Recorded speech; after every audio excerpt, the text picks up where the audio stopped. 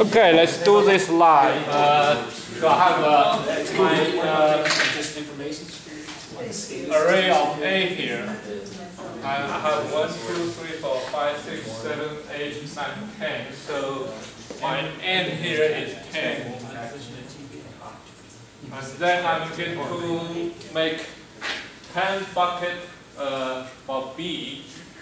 So from again from 0 to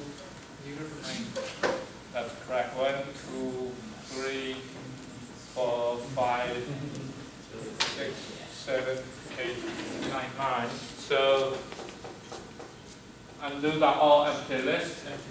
And then and those are my so your your goal is basically convert all those floating points into those zero and nine integers. Yeah.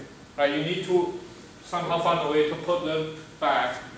But I know I have 10 bucket, right? So you just have to somehow put those numbers rounded back into those digits. And the way uh, we are doing it is basically n times floor of those elements. It is floor of n into four. Oh, sorry, sorry, floor of that. Element of, and this is basically your A I. Correct.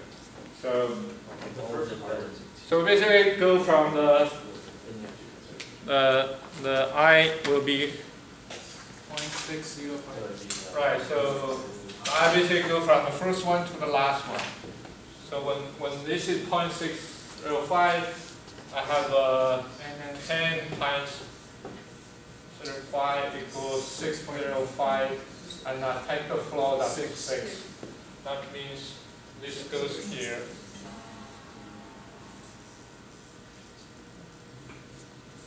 Point six zero five. So, and then I move to the next one. And this one should be ten times 0.903, like the floor of this should be fine. Right, so and then like, this one goes here at 0.903. A point 2, this should go to number 2. This should go to 5. 2 and 3, this should go to 5. 4 and 2. 7, this should go to 4. This goes to 0 for this will go to zero. Oh, I, I forgot to move my I. So there. Point zero five. Oh, I have a, now I have, I, I need to put also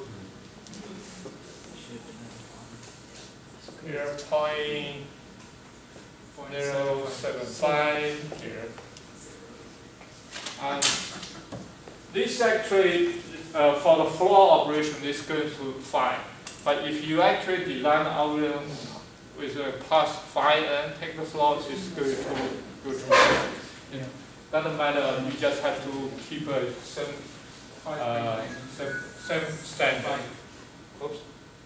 Uh, okay. This will be point five nine zero. So I have two, two number here, two number here, also two number here. Then point. This one, Three. point three,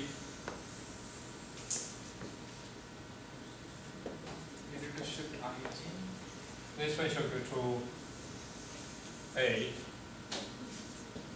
A seven five, and. Now I have ten number I put into ten bucket. On average, each bucket shall have one, but some are zero, some are two. But in any case, those buckets shouldn't be very large. It's really one of n on average. Uh, really just one, right? So if I apply sorting to those uh, small bucket, that doesn't take too much complexity running time, right? So I, the book actually say use insertion sort for each bucket. It's still a very small number, right? So anyhow, so after you sorting all those, uh, sorting out all those lists, and then all I need to do is just walk the whole thing over. Uh, I need to take a different color. All you need to just concatenate. Uh, when I say concatenate, concatenate, you, you know what this means? Join, Join. joining. Yeah, basically stitching everything back. Uh, if, if you have a, uh, I'm not sure everyone of you have played beads, but I have a girl, so I play beads quite. You basically chain everything back together, right? So, so you basically uh, from the first one, I go over there, and then go over here, go over here. Oh, uh, this one assuming it's a solid, I go over here, go over here, and go over here. That's basically concatenation. You put everything back in one array. That's your solid uh, list. Sorry, solid array. So you,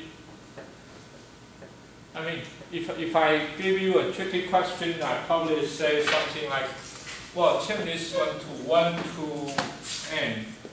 Uh, do you, have to change your algorithm a little bit, right?